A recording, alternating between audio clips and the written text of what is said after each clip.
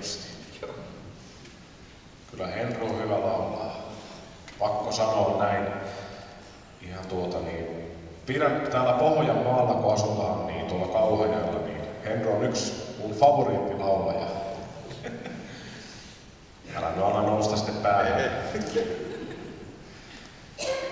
Seuraavaksi sitten tuota niin, Teresa laulaa yhden laulun ja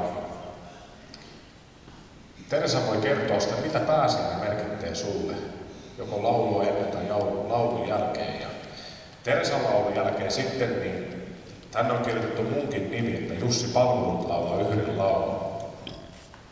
Se on tuo Teija tuon ohjelman, niin en mä muuten olisi itteni laittanut laulaa.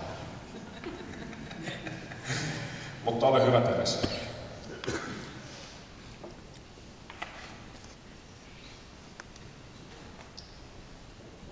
Mitä pääsiäinen merkitsee mulle? Mulle pääsiäinen on, se on suuri ilojuhla, vaikka sitä yleensä vietetään sillä tavalla vähän harmonisesti ja jotenkin musta monta kertaa tuntuu, että surullisen tunnelmi. Mutta se on mulle sellainen ilojuhla, koska ilman pääsiäistä ei olisi Jeesuksen ristin työtä.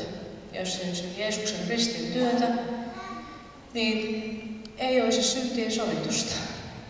Siksi pääsee ilo, ilo juhla, että Jeesus sovitti meidän synnit ja avasi meille yhteyden Jumalaan. Sitä pääsee merkittämään.